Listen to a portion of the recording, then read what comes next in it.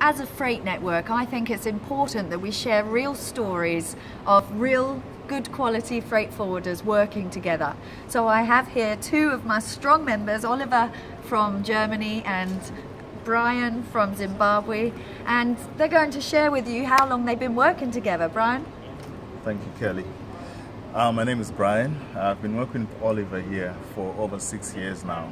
I must say being part of this network is actually very good for us as a business because mainly in Zimbabwe we're a net importer and we actually want to import real time. Oliver here has been very good.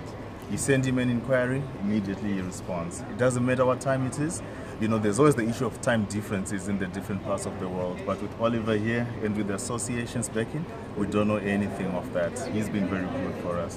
We import quite a lot, spares from Germany to Zimbabwe, and wow, it's been flawless. I must say thank you to Oliver and the association. You're welcome. What a compliment. I assume you you very much. reciprocate it, do you? Are they just as strong?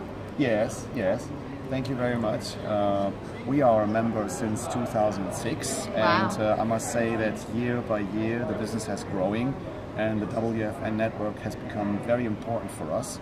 Uh, we found very, very professional partners all over the world, and uh, with uh, custom services in where we have somebody we can rely on. And uh, it's not easy to find reliable uh, partners, Yeah. but uh, this I can say for 100%. We do a good business with each other, and there's nothing to worry about. And that is what we want, right? You want worry-free business. Worry-free business, So you can go home and yeah. enjoy your evening Yes, without any that's stress. right. Take my hands, Definitely, men. yeah. Take my hands. Okay? It's great working you, together, Kelly. right? yes, yes. Thank you. Thank you very Thank much. you. And thank you, Oliver. Okay, Steve.